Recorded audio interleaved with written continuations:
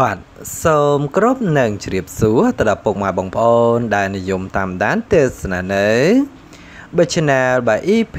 បើសូហេងជាទីមេត្រី សូមមកជួយចុចប៊ូតុងបាទ Subscribe ក៏ដូចជាជួយចុចប៊ូតុងបាទ Like និង Share ដើម្បីទទួលបាននៅបាទអត្ថបទបាទថ្មីថ្មីបាទជារៀងរាល់ថ្ងៃ បាទសម្រាប់បើថ្ងៃនេះផងដែរបាទខ្ញុំបាទក៏សូមធ្វើការបាទជ្រាបជូននៅបាទគឺហោរាសាស្ត្រត្រូវជាមួយនឹងបាទថ្ងៃអាទិត្យត្រូវនៅថ្ងៃទី24ខែកក្កដាឆ្នាំ2022នេះសម្រាប់ពុកម៉ែបងប្អូនដែលបើចង់ដឹងអំពី ដួងជីតាឫស្សីរបស់ខ្លួន ប្រចាំថ្ងៃ ថាតើនាថ្ងៃអាទិត្យបាទថ្ងៃចុងសប្តាហ៍នេះបាទដួងចិត្តរិស័យរបស់ពុកម៉ែបងប្អូន គឺឡើងខ្ពស់ត្រដែតឬមួយក៏ធ្លាក់ស្រុតចុះយ៉ាងណានោះបាទសូមពុកម៉ែបងប្អូនទាំងអស់គ្នា មកទស្សនាជាមួយនឹងជើងលេខដែលលោកគ្រូសូមធ្វើការគុណគូទុទាយចែកជូនដល់ពុកម៉ែបងប្អូន បានទស្សនា ទាំងអស់គ្នាដូចត ទៅបាទបើយើងនិយាយអំពីបាទក្បួនបាយាមក្រឡា បាទតើតើងជាមួយនឹងបាទក្បួនយាមក្រឡានេះដែរគឺជាក្បួនក្នុងកាលមើលពេលវេលាដែលត្រូវធ្វើដំណើរនាបើថ្ងៃអាទិត្យត្រូវនៅថ្ងៃទី24ខែបកក្កដាឆ្នាំ2022នេះ យើងឃើញថាដោយសារតែបើថ្ងៃអាទិត្យនៅវេលាពេលព្រឹកចាប់ពីម៉ោង6:00រហូតដល់ម៉ោង8:24នាទី គឺជាពេលវេលាលៀបជ័យដោយឡែកសម្រាប់ពេលពេញពន្លឺចាប់ពីម៉ោង8:24នាទីដល់ម៉ោង10:48នាទី គឺជាពេលវេលាគ្រោះថ្នាក់ហើយសម្រាប់ពេលថ្ងៃត្រង់ ចាប់ពីម៉ោង10:48នាទីដល់ម៉ោង1:12នាទី គឺជាពេលវេលាធម្មតា ដោយឡែកសម្រាប់ពេលរសៀលចាប់ពីម៉ោង1:12នាទីដល់ម៉ោង3:36នាទី គឺជាពេលវេលាសេរីហើយសម្រាប់ពេលល្ងាចចាប់ពីម៉ោង3:36នាទីដល់ម៉ោង6:00គឺជាពេលវេលាទុកសោកបាទ អញ្ចឹងហើយសម្រាប់ពុកម៉ែបងប្អូនដែលបើចង់បាននៅលៀបជ័យសិរីសស្ដីគ្រូជាដើម្បីឲ្យការបើចេញដំណើរទៅបំពេញកិច្ចការងារប្រចាំថ្ងៃរបស់ពុកម៉ែបងប្អូនទទួលបាននៅបាទលៀបសការៈទទួលបាននៅបាទអឺភ័ព្វសំណាងល្អល្អនោះក៏ដូចជាទទួលបាននៅសេចក្តីសុខផ្សេងផ្សេងនោះ គប្បីធ្វើការចេញដំណើរដោយជ្រើសរើសយកពេលវេលាល្អល្អទៅតាមក្បួនរួមមាន គឺនៅពេលព្រឹកបាទគឺនៅពេលរសៀលក៏ដូចជានៅពេលថ្ងៃត្រង់យើងឃើញថាសម្រាប់ពេលវេលាទាំង13នេះគឺជាពេលវេលាដែលល្អបាទពុកម៉ែបងប្អូនអាចធ្វើការជ្រើសរើសបាទចេញដំណើរចំពេលវេលាណាមួយក៏បានដែរ ហើយប្រសិនបើចង់បើចេញចំពេលវេលាដែលមានលៀបសំណាងរឹតតែល្អប្រសើរនោះក៏បីចេញដំណើរនៅពេលព្រឹកផងដែរបាទបាទដោយឡែកសម្រាប់ពេលវេលាដែលមិនល្អបាទពុកម៉ែបងប្អូនមិនគួរណាបើចេញដំណើរចំពេលវេលាទាំងនោះនោះទេរួមមានគឺនៅពេលបពេញពន្លឺក៏ដូចជានៅពេលល្ងាច យើងឃើញថាសម្រាប់ពេលវេលាទាំងពីរនេះបាទគឺជាពេលវេលាដែលមិនមែនជាពេលវេលាអំណោយផល បាទក្នុងការបើចេញដំណើរទៅបំពេញកិច្ចការងារនោះទេអញ្ចឹងសូមធ្វើការអនុវត្តទៅតាមបក្បួន បាទយាមក្រឡាទាំងអស់គ្នា ដើម្បីឲ្យថ្ងៃអាទិត្យត្រូវនឹងថ្ងៃចុងសប្តាហ៍នេះ បាទគឺជួបតែលៀបនឹងសំណាងជួបតែបភាពជោគជ័យគ្រប់កិច្ចការងារទាំងអស់បាទខ្ញុំបាទក៏សូមបន្តជូននៅ បាទក្បួនមួយទៀតនោះគឺក្បួនក្នុងកាលមើលទិសទាំង8បើតើតើជាមួយនឹងក្បួនក្នុងកាលមើលទិសទាំង8នាបើថ្ងៃអាទិត្យត្រូវនៅថ្ងៃទី24ខែបកក្កដាឆ្នាំ2022នេះ បាទបើផ្អែកទៅតាមក្បួន ក្នុងកាលមើលទិសទាំង8ឃើញថាដោយសារតែថ្ងៃអាទិត្យគឺមានកម្លាំង6ដង្ហើមរស់គឺនៅទិសបាឧដបាទគឺទិសបាខាងជើងចំដូច្នេះហើយពុកម៉ែបងប្អូនមុនពេលធ្វើដំណើរទៅផ្លូវឆ្ងាយបាទមុនពេលធ្វើដំណើរទៅផ្លូវចិត្តឬក៏ទៅបំពេញកិច្ចការងារប្រចាំថ្ងៃបើផ្សេងផ្សេងផងដែរនោះ គឺតម្រូវពុកម៉ែបងប្អូនត្រូវទៅបាយមុខទៅរកទិសដែលជាដង្ហើមរស់ប្រចាំថ្ងៃជាមុនសិនបាទគឺត្រូវទៅបាយមុខទៅរកទិសឧត្តរជាមុនសិន ហើយសំបន្តចេញដំណើរទៅបំពេញកិច្ចការងារតាមក្រោយបាទកាលណាដែលពុកម៉ែបងប្អូនធ្វើការបាយមុខទៅរកទិសដែលជាដង្ហើមរស់ប្រចាំថ្ងៃ មានន័យថាពុកម៉ែបងប្អូនបានស្រូបយកនៅធម្មពល បានស្រូបយកនៅរិទ្ធិអំណាចក៏ដូចជា ធ្វើឲ្យលោកអ្នកហ្នឹងគឺមានភាពបអស្ចារ្យពុតលឺឆោពន់រៀងសីតាមជាប់ជានិច្ចបាទมันមានអ្វីពិបាកនោះទេ ដោយគ្រាន់តែបាយមុខទៅរកទិសលៀបទិសជ័យហើយហើយសឹមបន្តចេញដំណើរទៅតាមក្រោយ នោះរាល់កិច្ចការងារនឹងទទួលបាននៅភាពជោគជ័យផលសម្រេចបាទទាំងអស់ជាជាពំខាន បាទសូមអនុវត្តទាំងអស់គ្នាបាទខ្ញុំបាទក៏សូមបន្តជូននៅបាទគឺហោរាសាស្ត្រប្រចាំថ្ងៃតែម្ដងបើតើតើជាមួយនឹងបហោរាសាស្ត្រប្រចាំថ្ងៃ បាទយើងឃើញថាសម្រាប់ពុកម៉ែបងប្អូនដែលមានឆ្នាំកំណើតបាទ ដែលកើតនៅក្នុងបិឆ្នាំជាដំបូងគេនេះបាទគឺត្រូវជាមួយនឹងបើអស់លោកអ្នកដែលកើតនៅក្នុងបិឆ្នាំជូតបាទរាសីក្នុងបើថ្ងៃបាទអាទិត្យបាទទីបាទ24ខែបកក្កដាឆ្នាំ2022នេះអស់លោកអ្នកដែលមានឆ្នាំកំណើតដែលកើតឆ្នាំជូតដោយសារតែមានបើធាតទឹកដោយសារតែមានពងទេវតាប្រ ដួងចិត្តរិស័យរបស់អស់លោកអ្នកឃើញថាគឺបើល្អជាមួយជុំនោះទេការរស់នៅលោកអ្នកគឺគប្បីរក្សាភាពបណ្ដឹងថឹងហើយធ្វើអ្វីក៏ដោយมันអាចបើយកភាពបមោហៈតោសៈដាក់ខ្លួនបាននោះឡើយបើពុំនោះទេ បញ្ហាពិតជារត់ចូលកាន់តែច្រើនឡើងច្រើនឡើងជាក់ជាពំខាន ការប្រកបកិច្ចការងារលោកអ្នកត្រូវតែរិះពន់ផលលំបាកច្រើន ហើយបើពិសេសនោះធ្វើច្រើនទទួលបានផលតិចទៅទៀតបាទសម្រាប់បើអ្នកប្រកបរបររកស៊ីជួញដូរមានការរិះលូតលាស់ទៅមុខយឺតណា ហើយអ្នកបើខ្លះរកគ្រាន់ចិញ្ចឹមខ្លួនឯងក៏សឹងថាយ៉ាប់ផងដែររីឯបញ្ហាសេចក្តីស្នេហាប្រុសស្រីកំឡោះក្រមុំ ឬក៏ពោះម៉ាយមីម៉ាយក្តីចូលប្រយ័ត្នការលេងមេះម៉ោះបើច្រើននាំកើតនៅចំនួនវិវាទកើតតែបើបញ្ហាពាក់មុខយៈដាក់គ្នាតែប៉ុណ្ណោះបាទចឹងនេះគឺជាបាទដួងចិត្តរិស័យរបស់ពុកម៉ែបងប្អូនដែលមានឆ្នាំកំណើតបាទដែលកើតនៅក្នុងបើឆ្នាំជូតបាទ ខ្ញុំបាទក៏សូមធ្វើការបើគុណគូទុទាយនៅដួងចិត្តរិស័យរបស់អស់លោកអ្នកដែលកើតឆ្នាំជាបន្តទៅទៀតនោះគឺត្រូវជាមួយនឹងបោះលោកអ្នកដែលកើតនៅក្នុងបើឆ្នាំឆ្លូវដួងចិត្តរិស័យរបស់ពុកម៉ែបងប្អូន ដែលមានឆ្នាំកំណើតដែលកើតនៅក្នុងបើឆ្នាំឆ្លូវដួងចិត្តរិស័យរបស់លោកអ្នកនាបើថ្ងៃអាទិត្យត្រូវនឹងថ្ងៃចុងសប្តាហ៍ ត្រូវនឹងថ្ងៃទី24ខែកក្កដាឆ្នាំ2022នេះយើងឃើញថាសម្រាប់ពុកម៉ែបងប្អូនដែលកើតនៅក្នុងបើឆ្នាំឆ្លូវដោយសារតែមានបើធាតដីដោយសារតែមានពងបើមនុស្សប្រុសដួងចិត្តរិស័យរបស់អស់លោកអ្នកក៏ឃើញថាគឺបើធ្លាក់ស្រត់ចោបាទ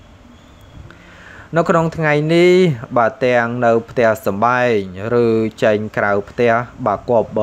3មានការប្រយ័ត្នប្រយែងបញ្ហាសុខភាពនិងសុខសុវត្ថិភាពផ្ទាល់ខ្លួនការប្រកបកិច្ចការងារអ្វីដែលលោកអ្នកត្រូវយកចិត្តទុកដាក់នោះគឺយកភាពបាទត្រជាក់ដាក់ខ្លួន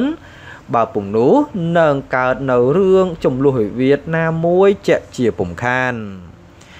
ដោយឡែកចំពោះអ្នកប្រកបរបររកស៊ីជួញដូរក្នុងបើថ្ងៃអាទិត្យទី24នេះតួជួញទីចិត្តឆ្ងាយការរកផលកម្រៃមានការហូរចូលមួយមួយគ្រាន់ជាទីបកកក្ដៅ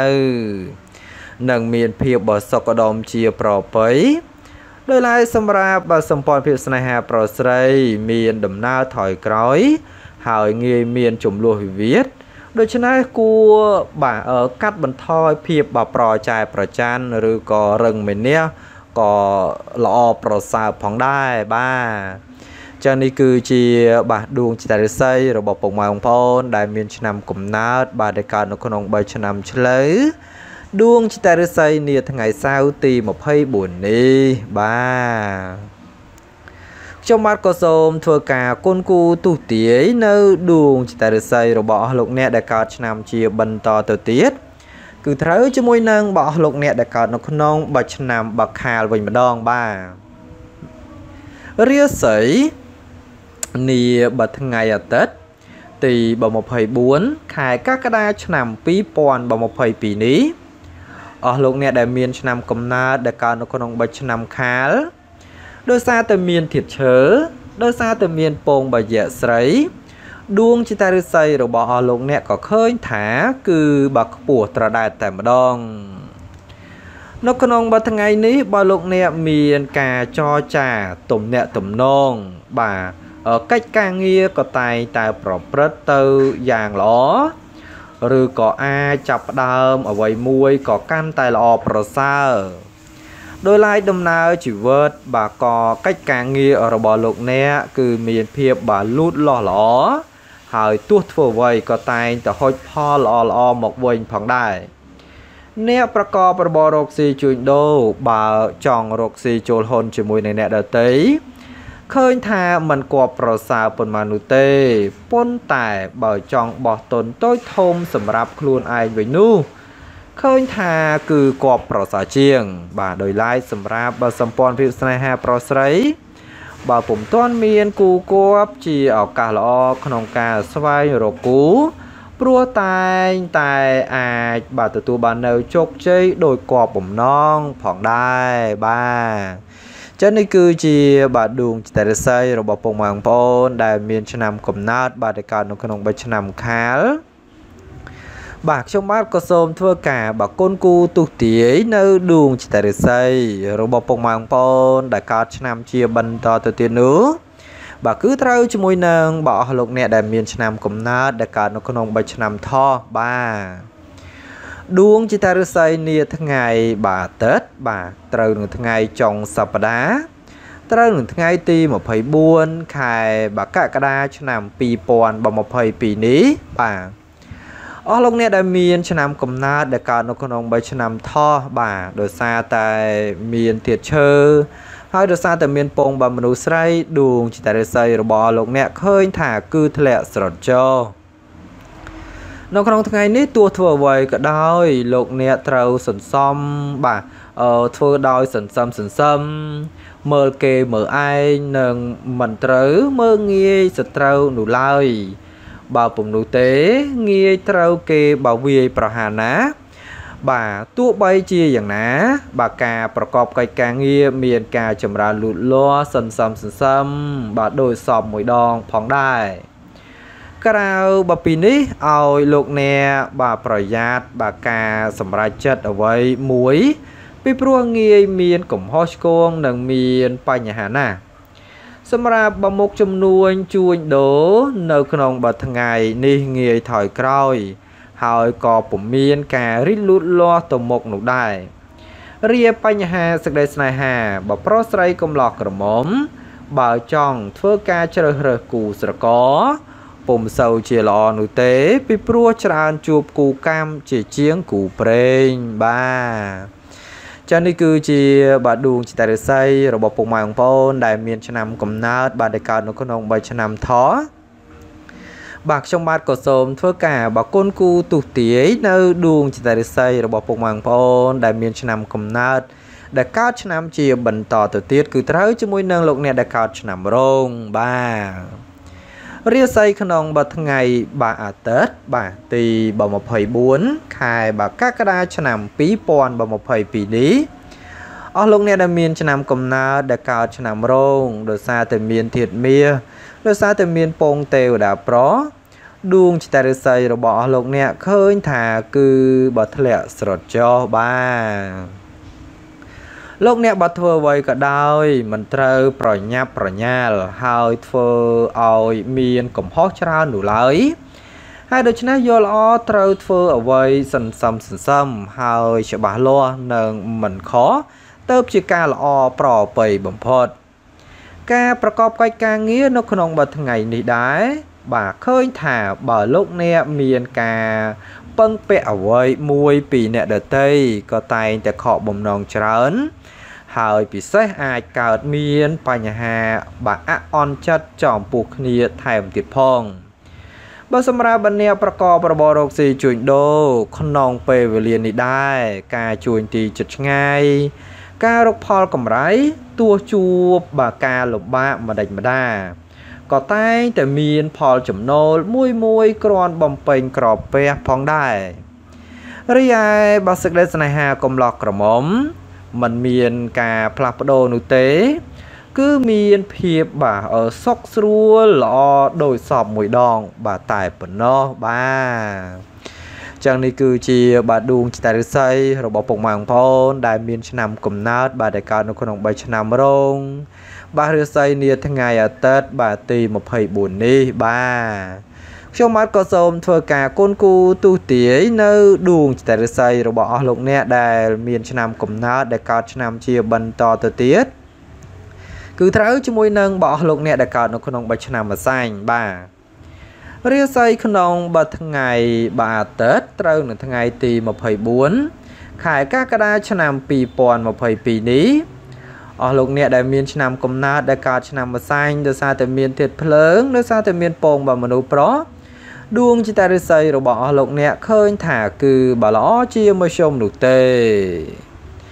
នៅក្នុងបើថ្ងៃនេះផងដែរដួងចិត្តរិស័យរបស់លោកអ្នកគឺជួបលើកំណត់ផ្លូវលំបាកបន្តិចពីព្រោះងាយមានក្រុមមនុស្សតាមយីយីនិងប៉ងអាក្រក់ផងដែរចំពោះអ្នកប្រកបកិច្ចការងាររាជការឬក៏ក្រុមហ៊ុនឯកជនវិញ មានការប្រទាំងប្រទើជាមួយនឹងមិត្តភ័ក្តិបន្តិច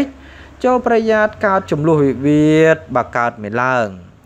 ចំណែកអ្នកប្រកបរបររកស៊ីជួញដូរមានការជឿនលឿនទៅមកបាទយ៉ាងឆាប់រហ័សហើយរឿងរ៉ាវអាក្រក់ទាំងឡាយដែលបើធ្លាប់មានកាលពីមុនមកក៏ត្រូវបានរលត់រលាយទៅឆ្ងាយតាមកាលវេលាផងដែរ ដោយឡែកសម្រាប់បញ្ហាសេចក្តីស្នេហាបើកំឡោះក្រមុំកំពុងតែមានការបើខ្វាយខ្វល់ព្រោះតែម្នាក់ម្នាក់មានការគិតហួសព្រំដែនច្រើនបាទចឹងនេះគឺជាបាទដួងចិត្តរិស័យរបស់ពុកម៉ែបងប្អូន ដែលមានឆ្នាំកំណើតបាទដែលកើតនៅក្នុង3ឆ្នាំម្សាញ់បាទខ្ញុំបាទក៏សូមធ្វើការបន្តជូននៅ បាទដួងចិត្តរិស័យរបស់អស់លោកអ្នកដែលកើតឆ្នាំជាបន្តទៅទៀតនោះ គឺត្រូវជាមួយនឹងអស់លោកអ្នកដែលកើតឆ្នាំបមមីបាទរាសីក្នុងបើថ្ងៃអាទិត្យត្រូវនឹងថ្ងៃទី24ខែបកាកដាឆ្នាំ2022នេះអស់លោកអ្នកដែលមានឆ្នាំកំណើតដែលកើតនៅក្នុងបឆ្នាំមមីដោយសារតែមានបធាតភ្លើងបើដោយសារតែមានពងជាទេវតាស្រីដួងចិត្តរិស័យរបស់អស់លោកអ្នក ឃើញថាគឺបើឡើងខ្ពស់ត្រដែតតែម្ដងបាទនៅក្នុងបើថ្ងៃនេះបើដំណើរជីវិតរបស់អស់លោកអ្នកឃើញថាមានការជឿនលឿនទៅមុខបើគួសមហើយបើធ្វើអ្វីក៏តែងតែផ្ដល់នៅលទ្ធផលល្អៗមកវិញផងដែរការប្រកបកិច្ចការងារលោកអ្នកមិនត្រូវຕົកពេលវេលាល្អចោលដោយ គឺអត់បានបាការឬក៏អត់ប្រយោជន៍នោះឡើយហើយត្រូវចងចាំថា ធ្វើច្រើនទទួលបានផលច្រើន ធ្វើតិចទទួលបានផលតិចទៅតាមនោះផងដែរអ្នកប្រកបរបររកស៊ីជួញដូរបើចង់បោះបើកបើបើចង់បើករបរថ្មី ឬក៏ផ្លាស់ប្ដូរទីកន្លែងលក់ដូរថ្មីឃើញថាគឺតែងទៅទទួលបាននៅលទ្ធផលល្អៗជាប្របីណាស់ រីឯបញ្ហាសេចក្តីស្នេហាក៏បើប្រុសស្រីវិញនោះបើលោកអ្នកចង់បើចង់ស្ពានមានមេត្រី ចង់ចូលស្ដីដណ្ដឹងនរណាម្នាក់ក៏ជាពេលវេលាល្អមួយផងដែរបាទអញ្ចឹងនេះគឺជាបាទដួងចិត្តរិស័យរបស់ពុកម៉ែបងប្អូនដែលមានឆ្នាំកំណើតបាទដែលកើតនៅក្នុងបិឆ្នាំបមមី បាទខ្ញុំបាទក៏សូមធ្វើការបាទគុណគូទុតិយនៅ បាទដួងចិត្តរិស័យរបស់អស់លោកអ្នកដែលកើតឆ្នាំជាបន្តទៅទៀតនោះគឺត្រូវជាមួយនឹងលោកអ្នកដែលកើតឆ្នាំមម៉ែបាទរាសីក្នុងបាទថ្ងៃបាទអាទិត្យបាទទី24ខែបាទកក្កដាឆ្នាំ2022នេះអស់លោកអ្នកដែលមានឆ្នាំកំណើតដែលកើតឆ្នាំមម៉ែ ដោយសារតែមានបាធាតមាដោយសារតែមានពងទេវតាស្រីដួងចិត្តរិស័យរបស់អស់លោកអ្នកឃើញថាគឺបាធ្លាក់ស្រត់ចុះបាទនៅក្នុងបាថ្ងៃនេះដំណើរជីវិតរបស់លោកអ្នកតែងតែជួបនៅបញ្ហារាំងស្ទះនិងមានបញ្ហាប្រឈមច្រើនដែលត្រូវពិបាកឆ្លងកាត់ដោយឡែកដំណើរជីវិតបើមិនល្អប្រសើរប៉ុន្មាននោះទេម្ល៉េះហើយការប្រកបកិច្ចការងារ លោកអ្នកក៏បីចាត់ចែងកិច្ចការងារចាស់ក៏បីចាត់ចែងកិច្ចការងារដែលនៅសេសសល់ពីមុនមកក៏ទៅតែល្អប្រសើរអ្នកប្រកបរបររកស៊ីជួញដូរឃើញថាលៀបតូចធំពុំសូវមានសម្បូរទេព្រោះបើមិនបោលហួរក៏ត្រូវអ្នកដតីដណ្ដើមយកអស់អស់មុនផងដែរដោយឡែកសម្រាប់បើសម្ព័ន្ធភាសាស្នេហាប្រុសស្រីកំឡោះក្រមុំឬក៏ពោះម៉ាយមីម៉ាយក្តី បើមានភាពបប្រទាំងប្រទើព្រោះតែម្នាក់ម្នាក់ប្រកាន់ចិត្តខ្លាំងរៀងរៀងខ្លួនបាទចឹងនេះគឺជាបាទដួងចិត្តរិស័យរបស់ពុកម៉ែបងប្អូន ដែលមានឆ្នាំកំណើត បាទដែលកើតនៅក្នុងបិឆ្នាំបមម៉ែបាទ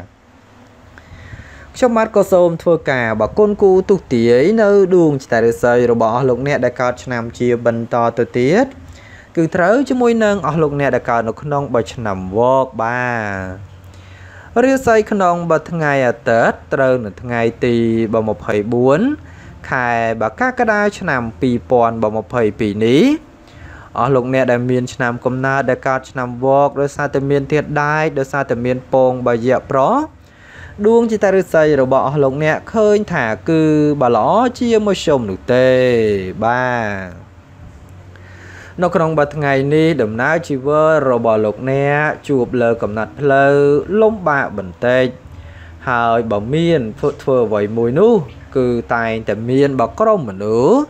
តាមចាប់បើឆ្កឹះឆ្កៀលនាំមកជួបនៅរឿងសៅមងមិនតិចនោះទេ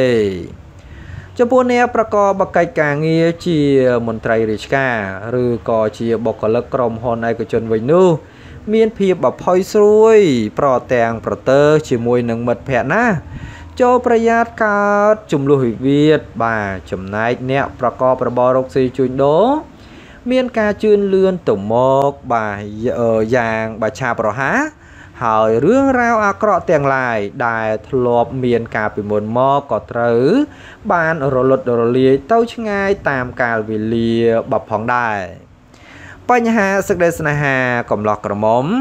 គឺកំពុងតែមានការបាក់ខ្វាយខ្វល់ព្រោះតែម្នាក់ម្នាក់មានការគិតហួសព្រំដែនច្រើនបាទចឹងនេះគឺជា បាទដួងចិត្តរិស័យរបស់ពុកម៉ែបងប្អូនដែលមានឆ្នាំកំណើតបាទដែលកើតនៅក្នុង3ឆ្នាំវកបាទ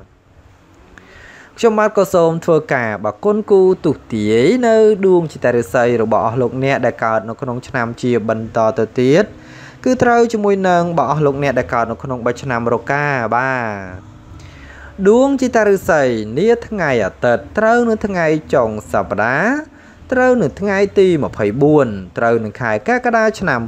2022នេះបើអស់លោកអ្នកដែលមានឆ្នាំកំណើតដែលកើតឆ្នាំរកាដោយសារតែមានធាតុដែកដោយសារតែមានពងបាយៈប្រុសដួងចិត្តរិស័យរបស់ពុកម៉ែបងប្អូនក៏ឃើញថាគឺខ្ពស់ត្រដែតតែម្ដងបាទ នាថ្ងៃនេះបើមានក្រុមមនុស្សជំពាក់ប្រកាសជាឱកាសល្អបំផុតសម្រាប់បើការអឺបើទាពីព្រោះថាអាចសម្រេចបើគប់បំណងនោះ គឺមានខ្ពស់ណាស់ក្នុងថ្ងៃនេះរាល់បើសម្ពាធទាំងឡាយគឺបានធូរស្បើយហើយបើលោកអ្នកមានចំណងចង់ធ្វើអ្វីមួយក៏ពេញដៃពេញជើង សម្រាប់អ្នកប្រកបរបររកស៊ីជួញដូរមានការទិញចូលលក់ចែងក្រាន់រស់រវើកបើគួសមហើយបើចង់រកស៊ីចូលហ៊ុនជាមួយនឹងអ្នកដតីក៏មានភាពបល្អប្រសើរផងដែរតែត្រូវត្រួតពិនិត្យសមាសភាពឲ្យបានត្រឹមត្រូវ ប្រយ័ត្នត្រូវចាញ់បោកគេរាបញ្ហាស្រីស្នេហាកំឡោះក្រមុំមានការរីកលូតលាស់ និងមានភាពបសុខដុមជាប្របីណាស់បាទចឹងនេះគឺជា បាទដួងចិត្តរិស័យរបស់ពុកម៉ែបងប្អូន ដែលមានឆ្នាំកំណើត បាទដែលកើតនៅក្នុង3ឆ្នាំបារូកាបាទខ្ញុំបាទក៏សូមធ្វើការគុណគូទុទាយនៅដួងចិត្តរិស័យរបស់អស់លោកអ្នកដែលកើតឆ្នាំជាបន្តទៅទៀតនោះគឺត្រូវជាមួយនឹងលោកអ្នកដែលកើតនៅក្នុង3ឆ្នាំចបាទ រាសីក្នុងបាត់ថ្ងៃបាទតើតបាទទី24ខែបកក្កដាឆ្នាំ2022នេះបាទអស់លោកអ្នកដែលមានឆ្នាំកំណើតដែលកើតឆ្នាំចដោយសារតែមានបើធាតដី